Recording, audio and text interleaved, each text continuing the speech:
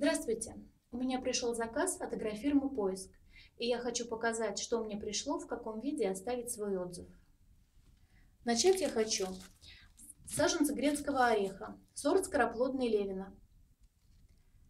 Выращивать грецкий орех на своем участке – это мечта моей мамы.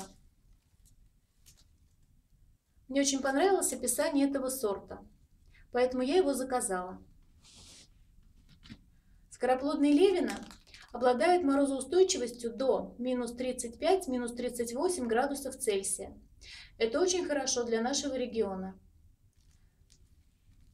Дерево невысокое, 4-5 метров, и очень скороплодное. Плодоносит начинает на 3-4 год. Саженец пришел в абсолютно спящем состоянии, вот такой вот корневой системой. Он был упакован вот такую вот эргономическую сетку. Производитель заявляет, что можно сажать его прямо с сеткой. Но если саженец спящий, я предпочитаю сетку снять и распаковать, чтобы убедиться, что корневая система нигде не подвернулась и полностью расправлена. Следующий саженец – это виноград плодовый, сорт Юпитер. Он пришел вот такой вот красочной упаковке.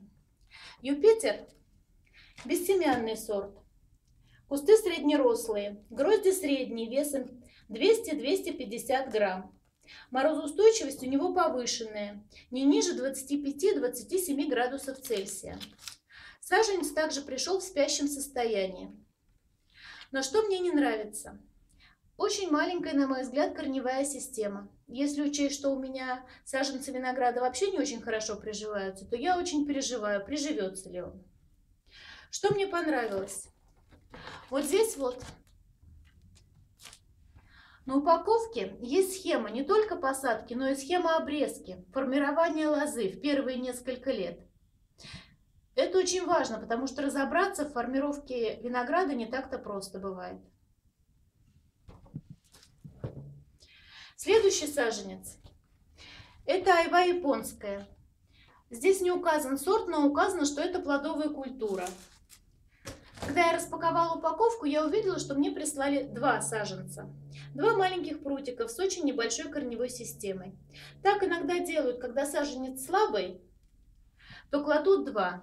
В принципе, это не очень плохо, но, конечно, каждому из нас хотелось бы получить крепенького саженца с хорошей корневой системой.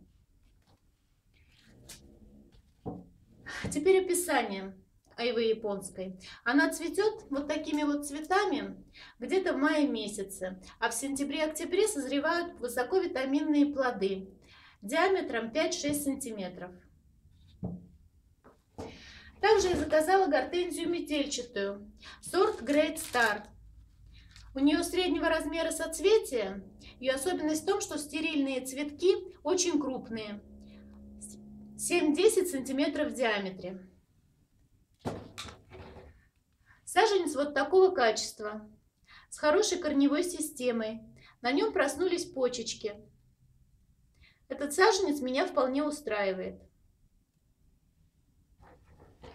Также я заказывала флокс метельчатый Freckle Blue Shants. На белом фоне сиреневые и фиолетовые мазки.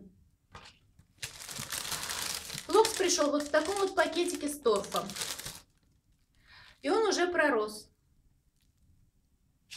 На обратной стороне есть инструкция, где сказано посадка, уход, а также что делать в случае, если флокс пророс раньше времени, в феврале-марте.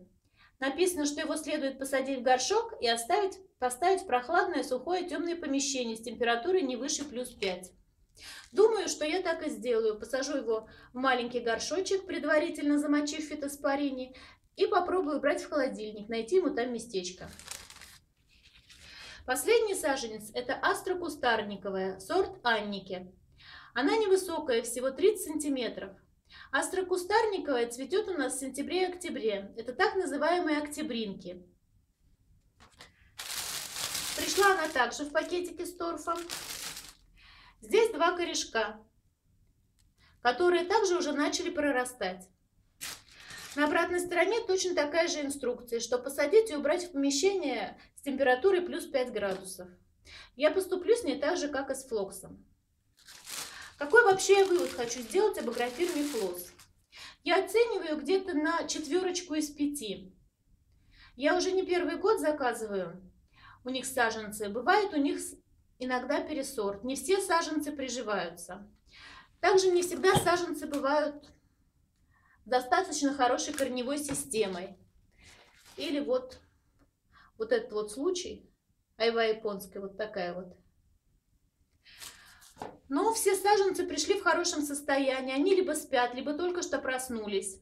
То есть не бывает, не было у меня такого, чтобы саженцы пришли переросшие и засохшие. Грунт весь я просмотрела, он весь влажный. Так что я считаю, вполне можно заказывать. Но знать, что бывают и такие вот проблемы. Спасибо за внимание. На сегодня это все. До свидания.